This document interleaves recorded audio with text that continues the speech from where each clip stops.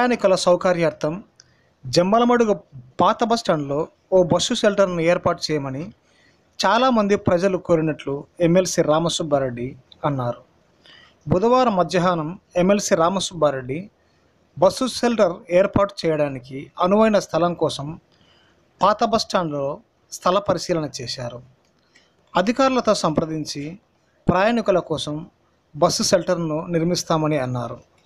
ఈ కార్యక్రమంలో RIMS chairman Muralidhar Reddy మాజీ గ్రంథాలయ సంస్థ చైర్మన్ రమణారెడ్డి టీడీపీ మండల అధ్యక్షులు శ్రీనివాసులతో పాటు పలువురు నాయకులు పాల్గొన్నారు. కన్వీనియంట్ ప్లేస్ ఒకటి. ఇక్కడ ఇబ్బంది లేకుండా ఒక షెల్టర్ అవసరమే కదా? ఎక్కడలే సార్ ఈ రోడ్డు కానీ ముద్దురు రోడ్డు కానీ ముద్దురు ముద్దురు ఫండ్స్ ఉన్నాయి ఖచ్చితంగా ఇది ఎంత అవసరం ఉంటే పది లక్షల ఇరవై లక్షల ఒక షెల్టర్ ఏదన్నా తప్పకుండా ఏర్పాటు చేస్తున్నాము అవసరం. అంటే ప్రజలు కూడా అడుగుతున్నారు.